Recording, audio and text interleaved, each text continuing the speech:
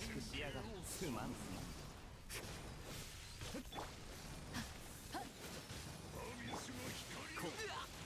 おとなしくしやがる。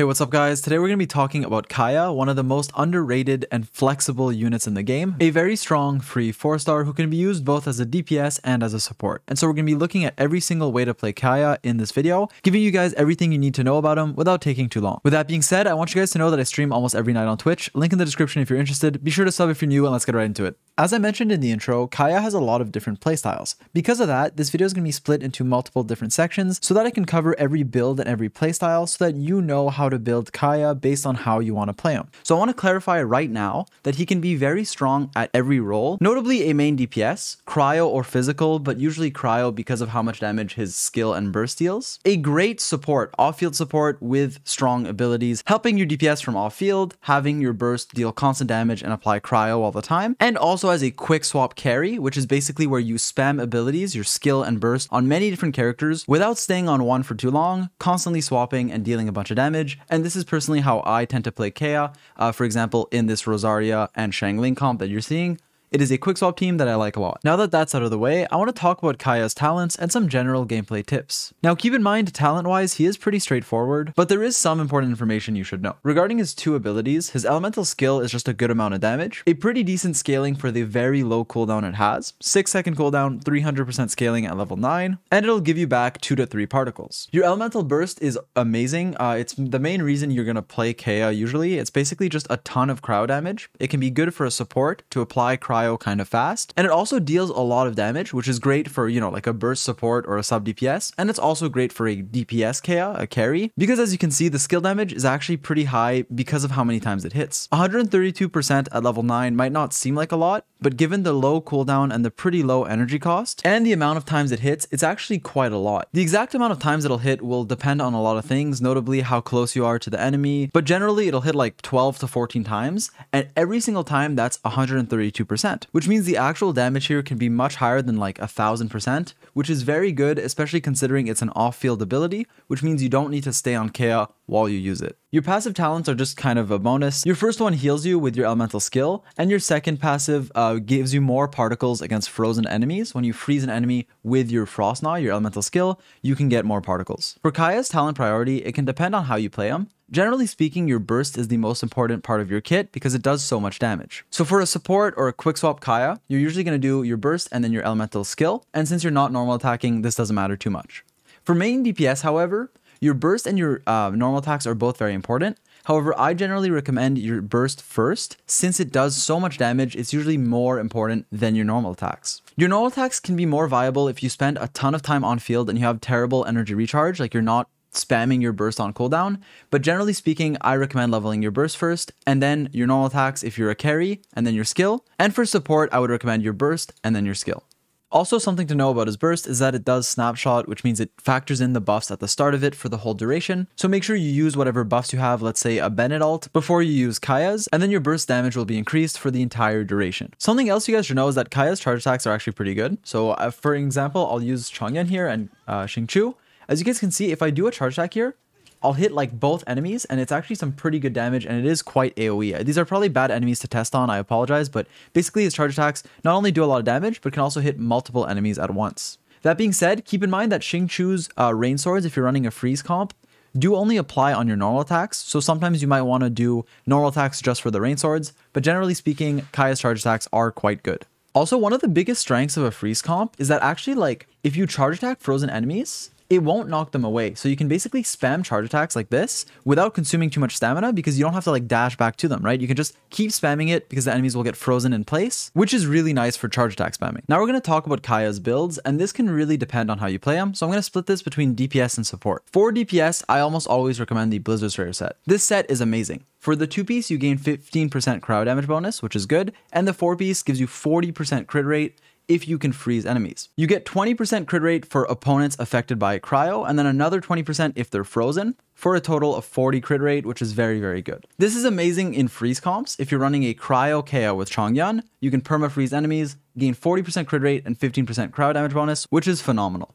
However, even if you're running Kaeya without Chongyun, you're just freezing with Xingqiu, you're just running a freeze comp, but still a physical sort of carry where your normal attacks are white numbers, the Blizzard Strayer set is still, in my opinion, the best if you are freezing because 40% crit rate is so valuable. Now, if you're running Kaya as a support or a quick swap, two-piece Noblesse Oblige with a two-piece Blizzard Strayer is usually the way to go because this is how you maximize your damage from your skill and your burst. Two-piece Blizzard Strayer gives you that 15% cryo damage bonus, and the two-piece Noblesse Oblige is great because 20% burst damage, given how much damage your burst deals, is pretty significant, and so running two-piece Noblesse Oblige with two-piece Blizzard Strayer is the way to go for a support or a quick swap Kaya uh, build. Now let's talk about the specific artifact stats you want on Kaya, and I'm going to split this into two sections to keep this like organized and simple. We're going to start by talking about DPS, and then we'll talk about support. Uh, and if you're playing a quick swap Kaya, I'll also mention that. So for a main DPS, right, if you're just running him, he's auto attacking, spamming his abilities, he's your on-field carry. The main stats you're going to be looking for are crit, rate and damage on everything, and also attack percent can be quite nice. And if you are like reverse melting, elemental mastery can be okay, but that's mainly for quick swap. Lastly, energy recharge can be a good substat, but for a main DPS, you usually don't need too much because you're on field picking up your own particles and all that stuff. And you also have some built-in ER with your Ascension stat. For the main stats you want, definitely go for attack percent for a main DPS Kaeya. And for your circlet, you usually want crit damage. Uh, since you're running the 4-piece Blizzard Strayer, you already have so much crit rate that usually a crit rate circlet will be overkill. However, if you're running a different artifact set, or if for some reason you need crit rate, you can go for that. But generally speaking, I recommend a crit damage circlet, uh, especially with Blizzard Strayer. Lastly, for your goblet, I almost always recommend cryo damage bonus. However, there are some situations for physical. So first of all, if you're running Kaeya with Chongyun, all his damage is going to be cryo, so you definitely want a cryo goblet. Now, if you're running him without Chongyun, just as a main DPS whose, let's say, normal attacks will be physical, it's still usually worth it to get a Cryo Goblet because you deal so much damage from your skill and burst that your damage from your abilities is usually higher than your damage from your normal attacks if you're like spamming your burst on cooldown and if you have like enough energy to spam your abilities. That being said, it can depend. And for example, in Abyss 11, you can run physical, but usually, like as a general statement, Cryo Goblet is the way to go. Now, for a support or a sub DPS build,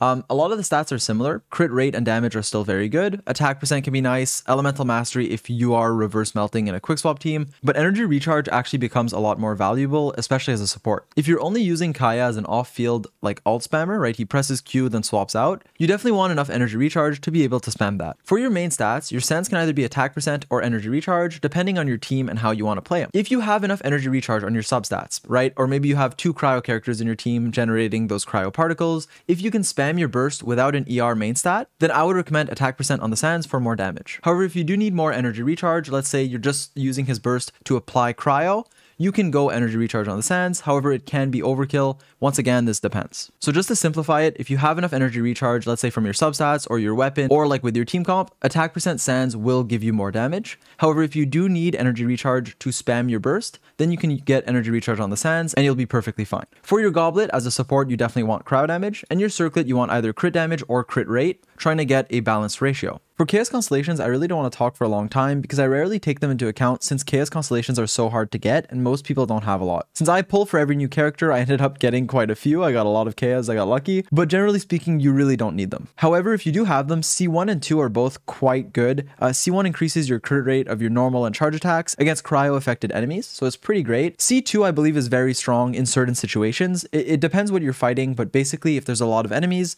it increases the duration of your burst every time you'll kill one gaining 2.5 seconds every time you defeat an opponent, up to a maximum of 15 seconds for your burst. And as I mentioned, this is great against a lot of enemies, so places like Abyss 12 2 right now, this can be very, very strong. C3 and 5 give you more damage. C4 is basically useless, it's just a shield. Uh, it can be nice against cryo enemies, but it's basically just a shield. C6 is pretty great, but it is a very hard constellation to get. It gives you another icicle on your burst and generates 15 energy when you cast it, which means you need even less energy recharge than you did previously. Now let's talk about Kaeya's weapons. So first of all, for a main DPS, right, where you're on field just DPSing, a lot of the 5-star options are very good, Aquila has a very high base attack and a good effect, so even if you're running him cryo, it's good, and if you run him physical, it gets even better. The most well-rounded 5-star though is the Summit Shaper because it's just a stat stick giving you a ton of attack percent, so helping all of your damage. And regarding the Jade Cutter, which is a 5-star sword that gives a lot of crit rate, it's kind of the same uh, thing as the Black Sword, but better. And they both run into the same problem where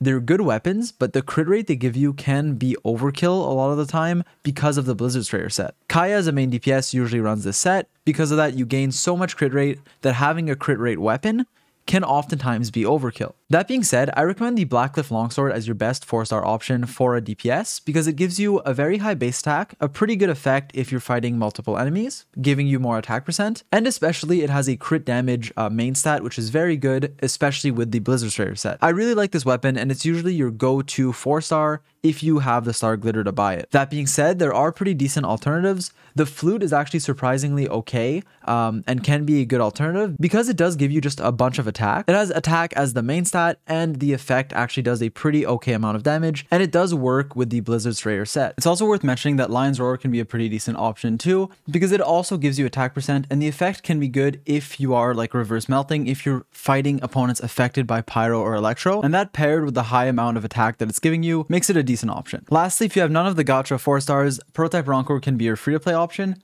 because it has a high base attack, a pretty good effect, and a physical damage bonus stat which could help you out depending on how you play this character. So that was for a DPS Kaya. Now for a support build, uh, where you're using him just for his burst, just to spam his burst on cooldown, energy recharge swords are often the way to go. So something like Skyward Blade can be very good as a 5 star if you have it. Festering Desire can be a great free to play option uh, if you did get it during the event a few months ago, because it gives you energy recharge and a pretty good effect, increasing the damage and crit rate of your elemental skill. That being said, any energy recharge sword can work, like you can run something like Favonius if you really need the particles, but I tend to prefer Festering Desire, especially because it is a free to play option if you have it. It's also worth mentioning that if you already have enough energy recharge, even as a support, like if you have a lot of ER substats, maybe an energy recharge sands, or just other cryo characters in your team, you can afford to run a sword that gives you damage, like the Blackcliff Longsword, but generally I tend to run energy recharge swords when I'm running him as a support. Now let's talk about a very important section, Kaya's team comps, and there are many, many different ways to play him, so I'm going to give you guys a lot of different sort of example teams and general guidelines on how you should build a team around this character. So first of all, if you're running him as a main DPS, right, on-field carry,